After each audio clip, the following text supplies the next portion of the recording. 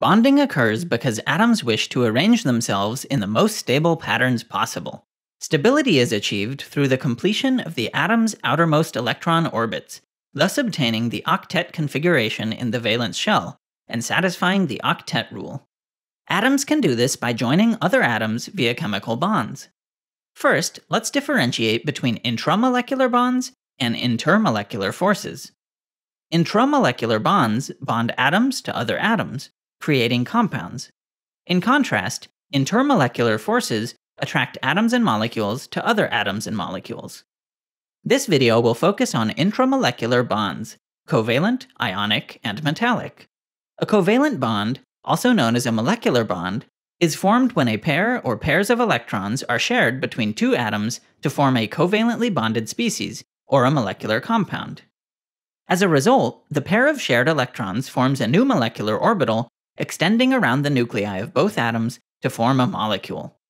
Covalent bonds are the most common bond in organic molecules, and you can get compounds with high molecular mass in this way. For example, macromolecules can be linear, branched, or cross-linked. You can also get a crystal network or lattice in which each atom is covalently bonded to its neighbors to form one large molecule. Sometimes you can have different allotropes, different forms of an element in its natural state. For example, graphite and diamonds are both allotropes of carbon.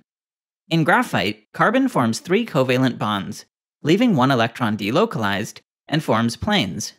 In diamond, the hardest material known, bonding occurs in a tetrahedral geometry. Covalent bonds come in two forms, polar and nonpolar, depending on the electronegativities of the atoms involved. Electronegativity is the tendency of an atom to attract a shared pair of bonded electrons in its combined state. Electropositivity is the opposite. A polar covalent bond is formed between two different nonmetal atoms with different electronegativities, which results in them sharing electrons unequally. The bonding electron pair is closer to one of the nuclei, depending on the relative electronegativities of the two atoms. So although the overall molecule is neutral, this results in one end of the molecule being slightly negatively charged and the other slightly positively charged. And this charge distribution is denoted by a dipole arrow and a lowercase delta with a charge superscript. Substances with polar covalent bonds have higher melting and boiling points. They are also soluble in polar compounds, such as water. HCl and HF are also examples of polar compounds. A nonpolar covalent bond is formed between two atoms with the same or very similar electronegativity. They share their electrons equally, these substances tend to exist as gases and rarely as liquids. They have low melting and boiling points and are soluble in nonpolar solvents. Examples include dihydrogen, dioxygen, and dinitrogen.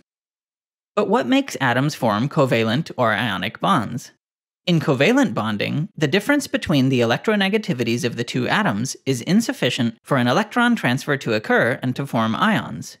The atoms involved have high ionization energies, Ionization energy is the energy needed to remove electrons from a neutral atom, forming a positively charged ion.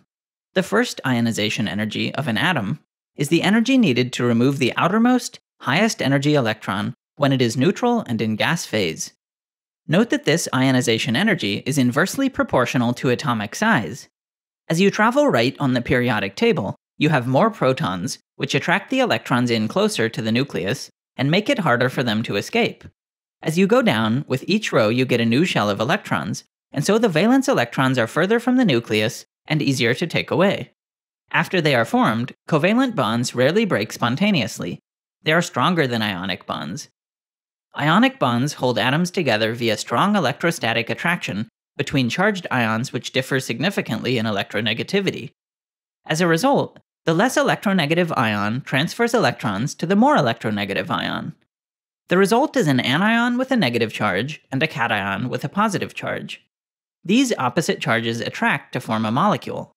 As an example, let's take sodium chloride. Chloride needs an electron to complete its octet. The easiest way for sodium to have a full octet valence shell is to lose its one valence electron, so sodium donates an electron to chloride. As a result, sodium is now a cation and chloride is now an anion. Note that ionic compounds can dissociate into ions in solution. The likelihood of an ionic bond forming depends on the radius of the atoms. A larger radius increases the likelihood of ionic bonding by decreasing the ionization energy. Because ionic bonds form between atoms with big differences in electronegativity, they form between a metal and a nonmetal. Lastly, metallic bonds are formed between metals, metalloids, and alloys. The bond is formed between positively charged atoms that share electrons. The valence electrons go from one atom to the next, continuously moving throughout the entire space. These free electrons have been described as a sea of electrons. Examples of metallic bonds include gold, silver, and iron. Different types of bonds result in different properties.